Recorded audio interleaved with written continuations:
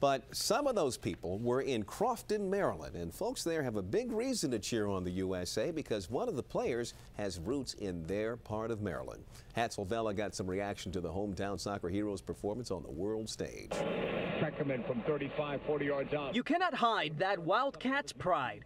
Beckerman on the ball deep in the USA half. Not in this field, here in Crofton, Turnover, USA will have it. or this one in Brazil. Come on, Bradley.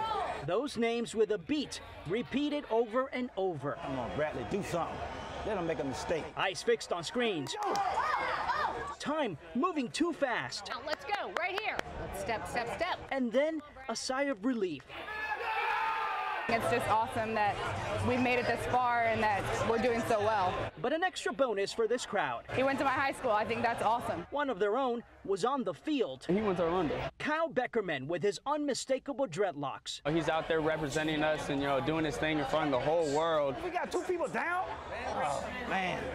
The game not looking too good. Gonzalez. Ah, we need to put somebody else in there, man. Richard Alexander isn't giving up just yet. This is what we waited for. Is it? Is there a ball?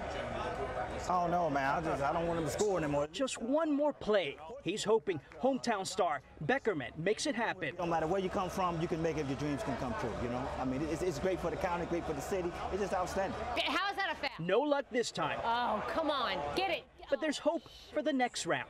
Nobody knows where we are. A chance for Crofton to be on the world map. Nobody knows Crofton, but it's cool. It's very awesome. All because of number 15, who got his start right here on this field You can hear the USA chants. in Crofton, Maryland. Hatzel Vela, Now the give and go. Johnson sweeps it away. ABC 7 News.